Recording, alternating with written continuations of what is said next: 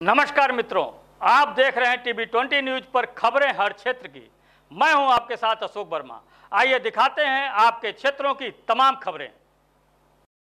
प्रदेश में विभिन्न वर्गों के परंपरागत कारीगरी, शिल्प को बढ़ावा देने तथा लोगों को स्वरोजगार देने के उद्देश्य से प्रदेश के मुख्यमंत्री योगी आदित्यनाथ ने प्रदेश के शहरी एवं ग्रामीण क्षेत्र के पारंपरिक कारीगर बढ़ई, लोहार, दर्जी, टोकरी, बुनकर, नाई, सुनार कुम्हार हलवाई, जूते, चप्पल बनाने वाले आदि स्वरोजगारियों तथा पारंपरिक हस्तशिल्पियों को, कलाओं को, प्रोत्साहन एवं संवर्धन तथा उनकी आय वृद्धि के अवसर उपलब्ध कराने हेतु प्रदेश में विश्वकर्मा श्रम सम्पान श्रम सम्मान योजना लागू किया गया है।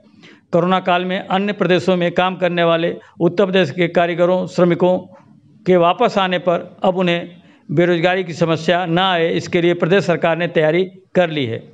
लाखों की संख्या में वापस आए, प्रदेश के श्रमिकों को कामकाज मिल सके, इसे विश्वकर्मा श्रम सम्मान योजना बड़ी मददगार साबित हो रही है। कोरोना वायरस के चलते किए गए लॉकडाउन के कारण लाखों कुशल, अकुशल श्रमिक प्रदेश में आ गए हैं। अब ऐसी स्थिति में यह लोग उन प्रदेशों, शहरों में वापस न जाएँ।